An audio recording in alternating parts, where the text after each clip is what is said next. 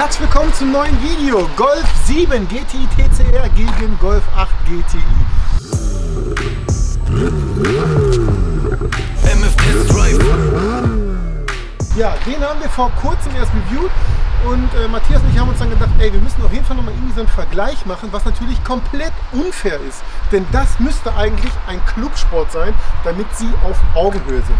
290 PS, 380 Newtonmeter, 245 PS, 370 Newtonmeter. Von 0 auf 100 in 6,2 Sekunden, von 0 auf 100 in 5,6 Sekunden. Boom! Nicht bei 250 km abgeregelt, abgeregelt bei 250 km wie ihr die von außen findet, das müsst ihr mal entscheiden und jetzt hier unten in die Kommentare reinschreiben. Findet ihr, der ist schöner, also jetzt gar mal abgesehen von der Farbe.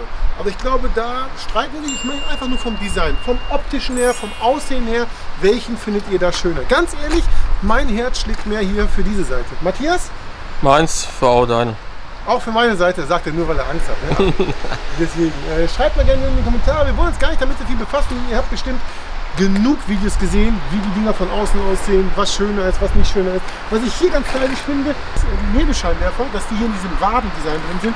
Ich habe gar keine Nebelscheinwerfer. Ich finde aber, das Rot setzt sich bei mir viel, viel schöner ab als hier. Es ist hier auch ehrlich sehr, sehr klein. Ne? Also hier ist schon ein kleiner Grill, aber der hier ist noch kleiner.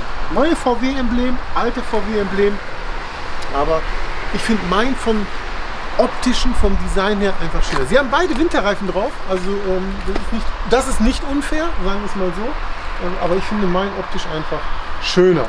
Wir gucken uns mal kurz das Heck an. Beide Autos getauscht und das ist die Heckpartie von den beiden Autos. Ähm, ich sagte ja schon, es ist unfair, sie miteinander zu vergleichen, weil hier müsste eigentlich der Clubsport stehen. Ne? Deswegen finde ich mein Heck auch einfach schöner. Klar, ich habe ja schon öfter gesagt, dass mir dieser Wing hier einfach zu viel ist an dem Auto. Ähm, deswegen ist der hier hinten schön clean gehalten. Ich finde diese Rückleuchten eigentlich genauso sexy wie äh, meine Rückleuchten auch. Ich finde, sie passen ganz gut hier rein, weil sie auch echt sehr, sehr schmal sind. Was ich sehr, sehr nice finde, ist, dass das GTI-Zeichen hier in der Mitte ist. Schön prang. Und das finde ich so ein bisschen, das wäre auch schöner, wenn das in der Mitte wäre oder vielleicht sogar ganz weg. Ich finde das immer so blöd, wenn es immer nur so an einer Seite ist. Die Auspuffrohre haben sie behalten. Die sind beide identisch. Beide silber.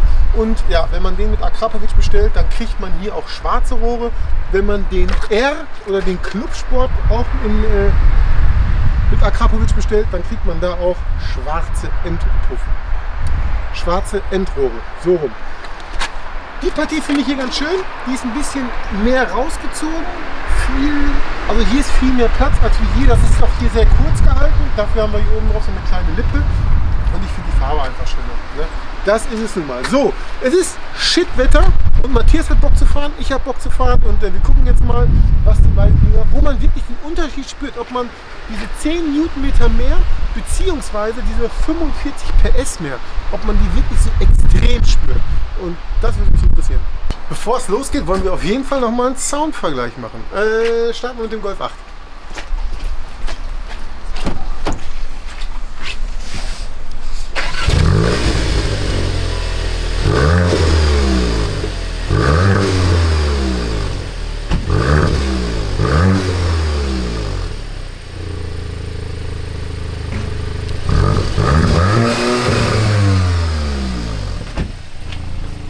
Ja, okay, Matthias, du kannst da besser beurteilen? Werden wir jetzt hören. Wenn wir jetzt hören, okay. Ja.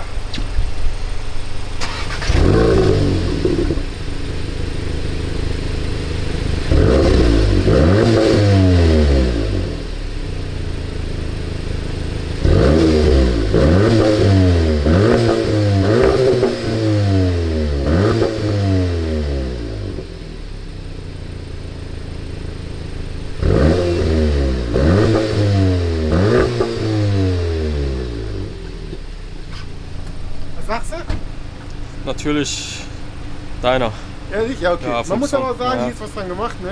Ähm, das ist nicht ganz fair. So, jetzt springen wir ins Auto. Erst 8 oder erst 7? Ich fahre erst, erst den 9. Erst den Den 9? 8. Ja, habe ich den Unterschied nachher mehr. Okay, alles klar. Dann fährt erst den 9, ich fahre den an. Rein geht's in die Autos. Einen wunderschönen Tag, Matthias. Viel Spaß.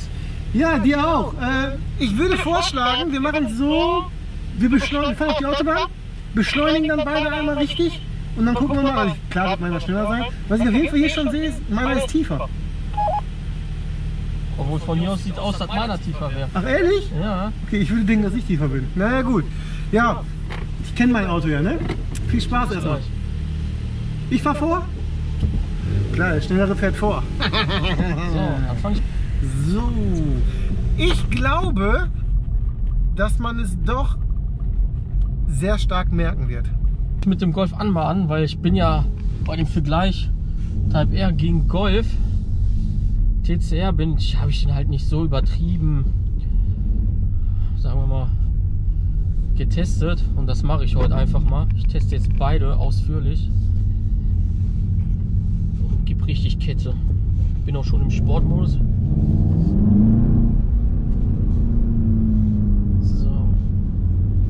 Ich bin den ja schon gefahren, nur jetzt nicht im direkten Vergleich, also nicht mein und danach sofort den. Deswegen, ich glaube aber, dass ich um einiges, dass der sich hier einfach aggressiver anfühlt und viel mehr Power hat. Das sieht schon schön aus mit dem äh, Licht da hinten, ne? So. Das Soundmodul ist schon sehr dominant. Also man hört den Sound Ja, von ich hinten. muss sagen, das Lichtband, das sieht schon cool aus. Ja, sie. Ich sag doch, das Licht, diese, äh, dieser Streifen nach vorne macht was aus. Ich finde das so geil. Ja, auf jeden Fall. Sieht echt cool aus. Und auch dynamisches Blinken vorne. Mhm. Schick, schick. Aber trotzdem. Power ist hier. Stimmt, deine hat das ja noch nicht, ne?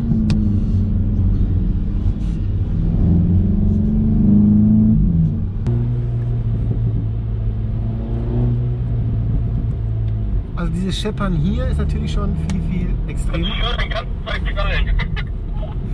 Ich sag gerade auf der Kamera, dass das Scheppern hier viel, viel extremer ist. Und ich meine, der hat ja vorher auch schon so gescheppert. Ne? Also nicht nach dem Umbau von HDH, dass er so extrem scheppert, sondern er hat vorher ja auch schon gut geknallt. Also ein Punkt schon mal für den Golf 8, Lenkrad super. Ja, ich bin, glaube ich, eher Lenkrad von meinem. Mein Lenkrad ist halt einfach, ich weiß, ist einfach sportlicher, weil man, weil es auch so viel frei ist. Und mit diesem Runden in der Mitte sieht einfach schön aus, finde ich. Ich finde das Dicke so gut, das ist richtig griffig. Du hast ja auch keine Mädchenhände, das finde ich viel besser. Ja, ich weiß, du findest dick eh immer gut, aber Wie gesagt, hab halt lieber so ein Lenkrad.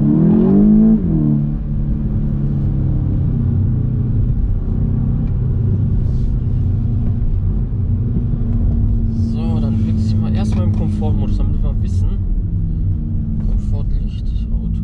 Wo wechsle ich das denn hier? Mode. Dann gehe ich jetzt mal auf Komfort. Ja, schade, dass es ähm, nicht so ein tolles Wetter ist. Somit äh, haben wir nicht so die Chance, die Dinger mal echt so richtig zu prügeln. Sondern es hält sich wahrscheinlich eher mehr in Grenzen, so von 70, 80 und dann mal so auf 150 hoch. Aber wir können halt nicht, ich mach das mal auf, ein bisschen mehr Licht. Wir können halt leider nicht mal so richtig, so eine richtige Beschleunigung machen. Das kriegen wir leider nicht hin. Und leider können wir auch nicht 0 auf 100 wirklich messen, weil ich leider nicht so ein Messgerät habe. Ne? Und die sind echt verdammt teuer, diese Dinger. Aber ich glaube, es lohnt sich schon, das darin mal zu investieren, oder? Na, müssen wir mal gucken. ja, Komfort.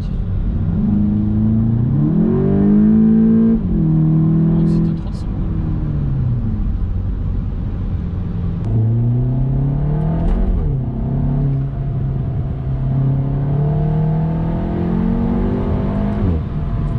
Also, der ist viel, viel aggressiver, meiner. Der hat viel mehr Druck. Und es sind nur 10 Newtonmeter mehr. Ne? Und 45 PS, 45 PS ist schon was. Aber 10 Newtonmeter hört sich gar nicht so viel an.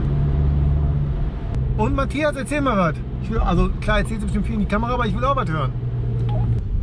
Also Komfortmodus, ich war gerade so, also der beschleunigt auch im Komfortmodus, zieht er richtig gut.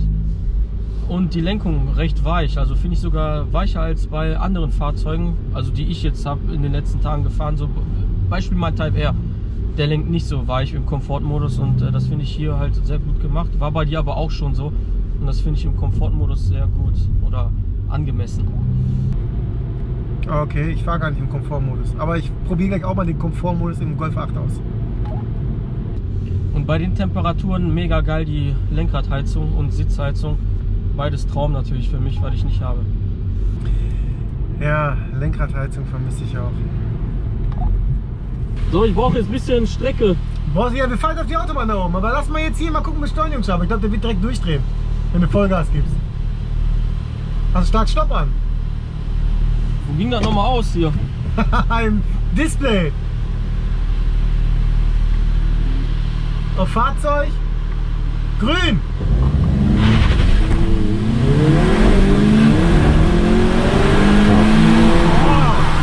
Was? Was? Ich geh kaputt. Ich geh kaputt. Was war das denn? Junge, ich hab dich auf was Ja, abgezogen. sicher. du kannst ja gar nichts, das ist der Fahrer. Wie geht das denn? Ey, was war das denn? Das war, glaube ich, ich habe einfach zu stark durchgedreht. Junge, ich war, ich war so geschockt, ne? ich war still, weil ich nicht wusste, ob du mitfährst oder nicht. Doch, ich habe voll durchgedrückt. Aber der hat natürlich ein bisschen äh, durchgedreht. Oh, krass, hätte ich jetzt gar nicht gedacht. Ja, schade, dass es nicht trocken ist, ey. Ja, okay, viel macht auch der Fahrer aus, ne? Leider erzähl mir kein vom Pferd, du musst ja nur das Gaspedal durchdrücken. Was macht das den Fahrer aus? Versuch mal 80 zu fahren, meiner fährt jetzt genau 80. Bin ich, ja. Ja? Okay. Eins, warte, bei drei, ja? Jo. Eins, zwei, drei.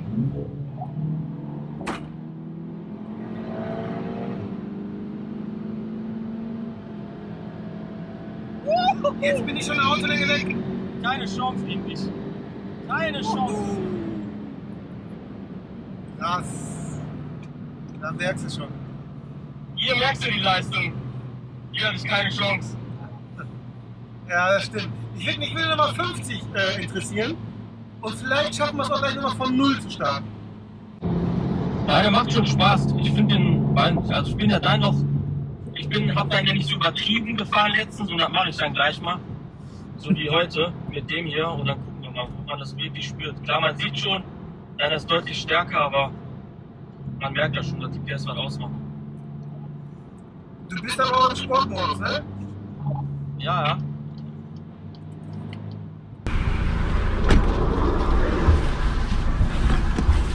So, jetzt fahren wir Golf 8. Bin ich ja schon mal gefahren, aber noch nicht so in so einem Beschleunigungsmodus. Wenn wir kurz den Sitz einstellen. Gut, dann, äh, ja, wir haben hier ein Stück Landstraße. Da können wir ja mal einmal kurz äh, auf 100 beschleunigen, ne? Oder? Also, von 3, 2, 1, äh, ne, 1, 2 und bei 3 geben wir Gas, okay? Okay. 1, 2, 3. Boah, gib Ketze! Das gibt's doch gar nicht.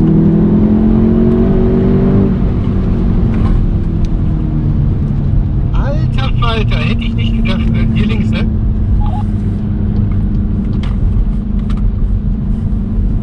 Was sagst du, war cool, ne? Ja, krass. Tempomat war 50? Ja. Jetzt bin ich.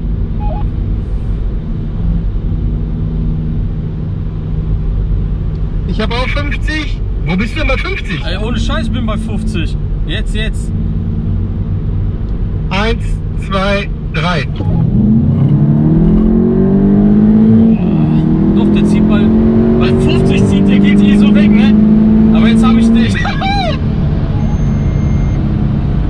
Alter Falter. Jetzt nochmal von 80. Beschleunigen einfach. Eins, zwei, drei.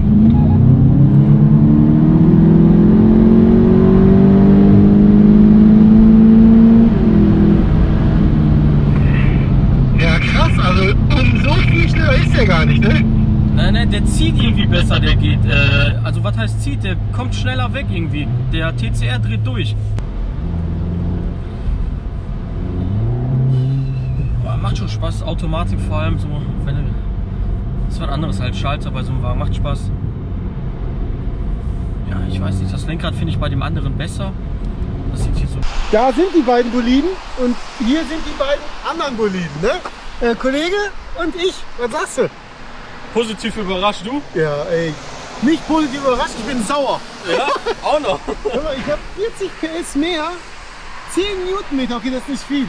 Aber bis 100 hat der ja gar keine Schnitte. Heftig. Aber meinst du echt, das liegt daran, weil das Wetter zu gut ist? Wetter und Fahrer. Ja gut, der hat natürlich gedreht. Also ich muss echt sagen, ich bin wirklich überrascht, hätte ich nicht gedacht, dass der genau ist. Weil der fühlt sich viel, viel aggressiver an. Ja, Ne? Und ich bin auch noch, als, als ich bin jetzt zuerst den gefahren, und da habe ich nur gedacht, das schafft der gar nicht. Dann hält der niemals mit, also von der Agilität her und so, aber nee. Ähm, da haben sie was Geiles gezaubert. Ne? Wenn ihr Bock habt, wir sind gerade hier bei Castor. Ähm, hier kann man die Autos mieten, wir haben gerade den Platz ganz leer. Da ist der Maserati, den habe ich auch schon mal gefahren. Und wir haben sonst auch äh, G-Modelle hier. Äh, Porsche gibt es hier, RSQ3 gibt es hier, RS5 gibt es hier. Die haben wirklich alles. Was sagst du denn, Matthias? also wie gesagt, nicht nur von der Leistung her, auch so vom Lenkrad her finde ich leider besser als dein. Also ich finde ich cool, man hat was in der Hand, ist nicht so abgemagert Ja. und äh, sogar im Komfort zieht er. Also der ist schon sportlich gemacht, also sehr agil. Ja, krass. Also muss ich mich mal wieder so halbwegs geschlagen geben. Ne? Ja, mal gewinnt der auch noch mal gegen irgendwas? Gibt's doch gar nicht. Dass ich immer nur am Verlieren bin hier. Type R schon richtig verloren und jetzt Golf 8 GTI. Dann will ich nicht wissen, wie der Clubsport oder der R ist. Ja, da freue ich mich drauf, auf Ja. den R. Da müssen wir mal Auf was den R freue ich organisieren. mich auch. Gut. Danke fürs Einschalten. Ich hoffe, das Video hat euch gefallen und ähm, schreibt bitte gerne in die Kommentare unten rein, was ihr gedacht hättet.